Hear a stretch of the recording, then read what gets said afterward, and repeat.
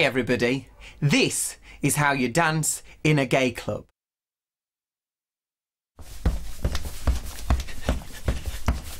Yeah. Front, back, side, side, up, down. And you go round and round in a circular motion and ripple. Single, single, double, double, single, single, double, double. So, like, when you see the dancers, they're always like in a hurry. And then they're like slow motion. Pop, pop, pop, pop, pop, pop, pop, pop, pop, pop, pop, pop, pop, pop, pop, pop, pop, pop, and then snap.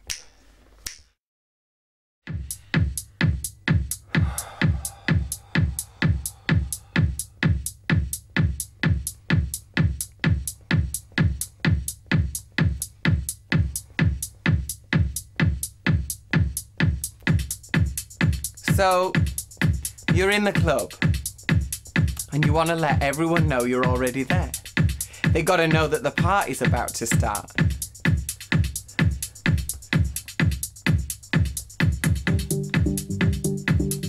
First, you got to find your own space. And then, warm up. Because you don't want to intimidate everybody with how fabulous you are. Yeah. Dance it out. So, your boyfriend just dumped you. Dance it out. So you just failed a test. Dance it out. So your cat just died. Dance it out. Yeah. Hair. Feel the music. And pop, pop, pop, pop, pop, pop, pop, pop, pop, pop, pop, pop, pop, pop, pop, pop, pop, pop, pop.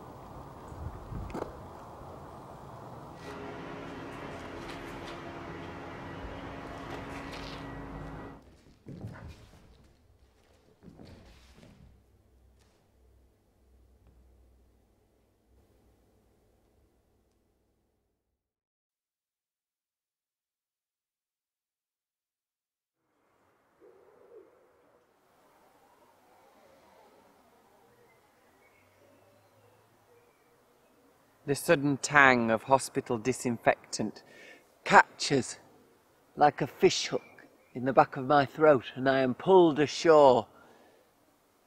I taste the colours and smell the sounds and open my mouth, fat and wide and red and round, and cry with joy at all the possibilities of life. Then it all starts to go wrong. There are other people here. Hairy, tall and strong. They have been expecting me. I have been given a gender and a name, brimming over with associations, a gift from my parents, clutching me tightly. Filled with joy, watchful, smiling, ever poised for celebration, crammed with epidurals, beer, and terrible, unlonged for expectations.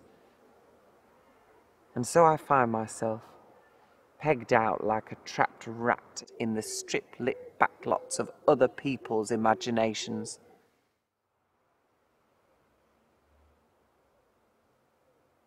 He looks just like his father, says a mustached midwife. At least I don't look like you, I think.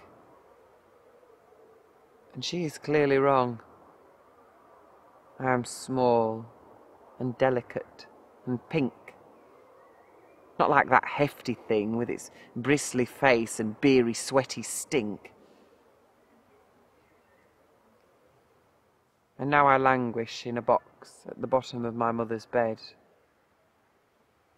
Cards and toys and baby grows and other things well liked by little boys, or so the story goes, have been placed upon a shelf above my head. These other people, whom I have never met, have dared presume to guess whom I might be. Their simple choices based upon the bits of me which can be seen. Choosing clothes, choosing blue, not pink, and paying no attention whatsoever to the green. And I am angry. I roll my hands into tight little pink fists, while in my head I spend an age reconstructing all the lists of the people that I might have been. Perhaps I should complain, but all I do is cry and try to kick with little pink legs. After all, I am but a few hours old, just a baby, and my mind boggles at the multitude of hopeful, choking voices to be heard, and I want to shout out with my own to tell them no. But I am just a baby. Just a baby. And I find I have no voice, as I am just a baby. and I do not know the words.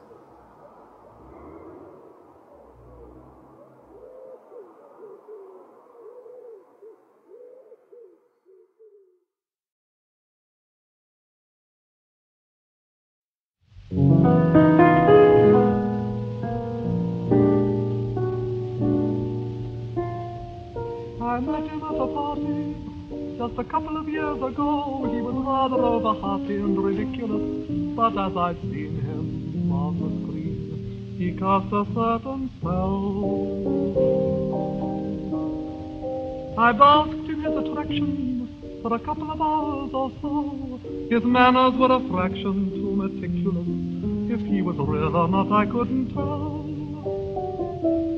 But like a silly fool, I fell. Mad about the boy. I know it's stupid to be mad about the boy. I'm so ashamed of it, but must admit the sleepless nights I've had about the boy. On the silver screen, he melts my foolish heart in every single scene. Although I'm well aware that here and there are traces of the care about the boy. Lord knows I'm not a fool girl. I really shouldn't care. Lord knows I'm not a schoolgirl in the flurry of her first affair. Will it ever climb this odd diversity of misery and joy?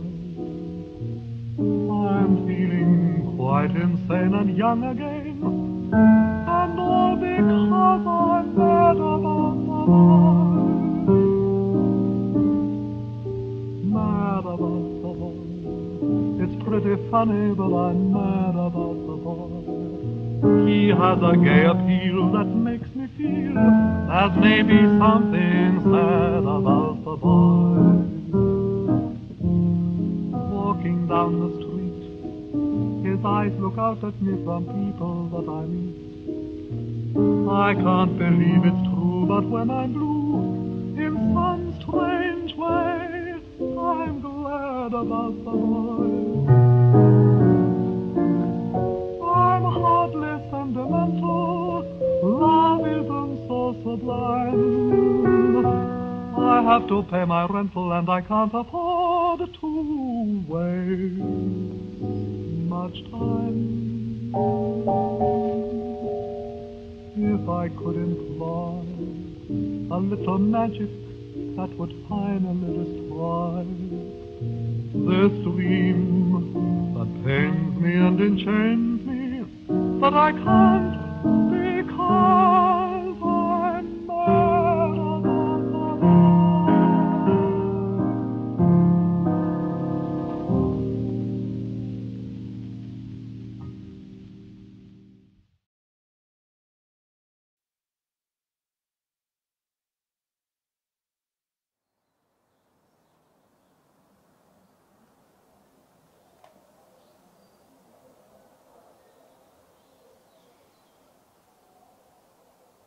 Time passes, skin stretches, bones shift and stiffen. Suddenly, we are a boy. The decision made unconsciously, without a fanfare. There are certain boxes that are tricky to avoid. And so we sit, in grey flannels on the carpet at the school, sipping warm milk from cardboard boxes, soaking up the rules. The Wendy house is for the girls, the football pitch is for the boys. The boys are too rough to play with the plastic saucepans, the girls too delicate to play with the boys. And so we find the boundaries of the playground.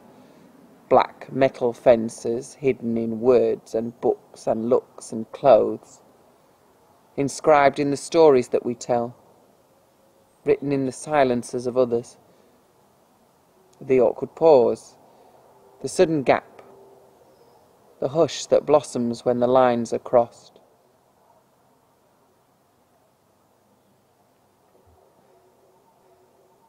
Never be afraid to ask a question, says the poster. Never be afraid to be yourself, says the teacher. But always follow the rules. Walk single file down the corridor, keep to the left, play nicely with each other, always wear the correct school uniform, don't step out of line. And so we plod along through education, finding out which questions we should ask and which we should avoid, learning both by rote and imitation how to be normal, healthy, law abiding girls and boys. Being told not to stand like that, people will think you're peculiar. Asking a question about the ancient Greeks. Was Patrocles Achilles' boyfriend then? And being told, don't be so silly. Scrawling a kiss after my name on a birthday card to a friend. And being told, boys don't give kisses to boys.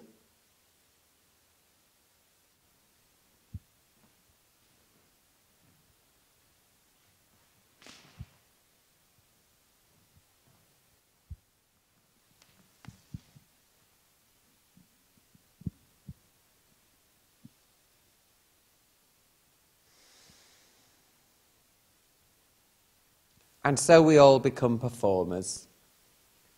Some of us willing, and some of us not. Coached in our parts by those who've gone before us, regardless of whether they themselves are happy in their lot. We all have certain roles to play, teachers included, prescripted outlines handed down through the generations by the great writers of the past, the unknown heroes of a bygone age who set in stone the stories of our lives, a never changing script for an ever changing cast. The stories of the world, it seems, have already been written, the parts played out a thousand times before, and any variation must be subtle or if it isn't, vilified or carefully ignored. The universe, soft and juicy like a watermelon, is cleaved in two girls and boys, men and women, normal and abnormal, similar and different, us and them, us and them. The sharp edges of the words slice down like axe blades, defining and separating keeping us sure. After all, no one wants to wear the dunce's cap. And no one wants to get kept back after school, or sent out to stand alone in the corridor, or get laughed at for sounding like a fool. For we all know there's honour in uniform, and safety in sticking with the herd, and favours for those who do their homework and applause for all those who learn the words.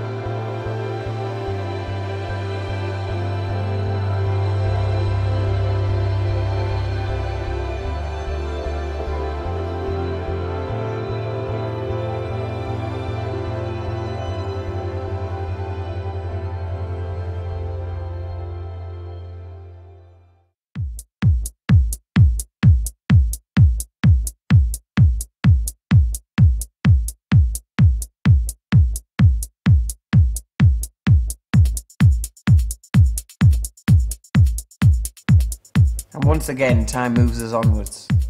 Again, the body stretches and explores. Hormones start to play their distant music in the blood, whispering of dreamy sun drenched shores. And then the beat kicks in, and the music roars, and suddenly the body isn't ours anymore. There are other voices here, lusty, loud, and strong, calling out for things in ways which cannot be ignored. And so we shift again, searching for a new person to be, hungry for experience, keen to change, hankering to be someone, but nervous and unsure, desperate for a role that will provide an explanation. And so we find ourselves pegged out like trapped rats in the strip-lit backlots of our own imaginations. And who are we now? There are other people here already who might be like us. Mums and dads and movie stars, girls in bands, men in clubs, people on the pages of newspapers and magazines, characters in novels, stories and songs. Each one a promise of a place we might belong.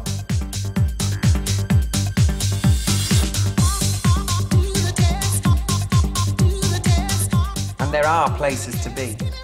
Clubs and bars and bandstands, benches in the park, gigs and social spaces built for meetings after dark.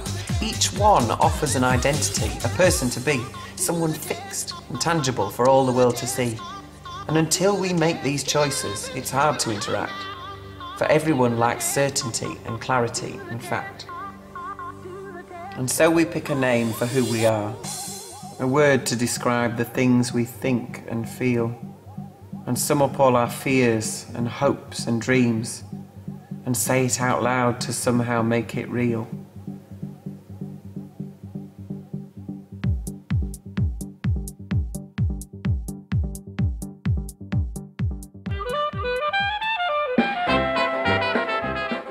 Come out of the closet, the slogan goes. Come out and be yourself. And we will sell the clothes to you and a lifestyle off the shelf.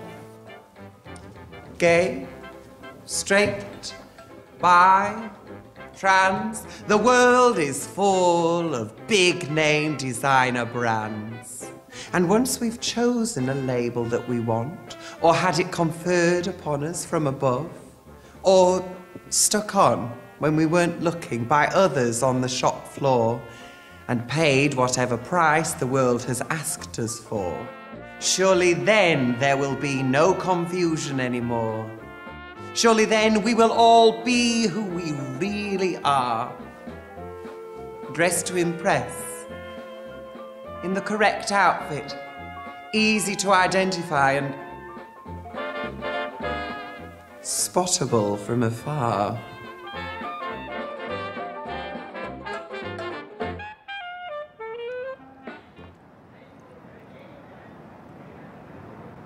But they are not always cut to size, these off the peg identities. They do not always fit. Sometimes they are too big, or loose, or wide. But they need to be let out a little bit. And what happens if we somehow pick the wrong clothes? Or do not look like who we're meant to be? Or can't afford the outfit that we want? Or find that the clothes we've chosen do not match the person that people see? A closet is not the only way to trap people. Open wide the doors, and you will see rows of gaudy prisons dangling from their hangers, itching to embrace the waiting hordes.